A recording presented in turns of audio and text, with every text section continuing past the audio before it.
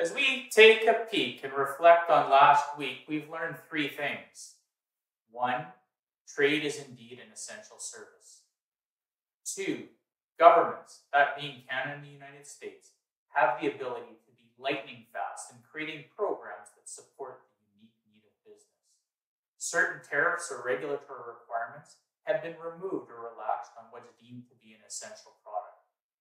And three, that businesses can rapidly adapt to change processes, places, and spaces in what is likely a new normal for the foreseeable future. Although the news of this past week focused on areas that showcase drastic adjustments in cross border trade, the volumes GHY facilitate on behalf of importers, exporters, and manufacturers have remained constant. Our service spans every geographic region in Canada and the United States and touches every industry sector. Given what is happening globally in this pandemic, we do anticipate there will be cross-border fluctuations, both downwards and upwards.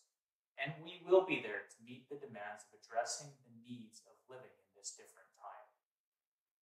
Industry associations that GHY are actively involved with have made representations to Ottawa and Washington.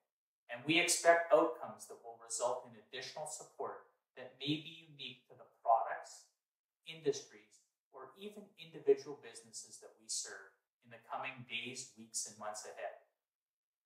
We are prepared to support the needs of the supply chain, and every associate has been enabled, regardless of where they are working from, to be able to teleconference or video conference to ensure that personalized service you've come to expect and to be able to respond to your unique needs.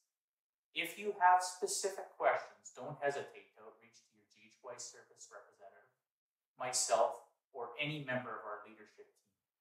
We can meet with you virtually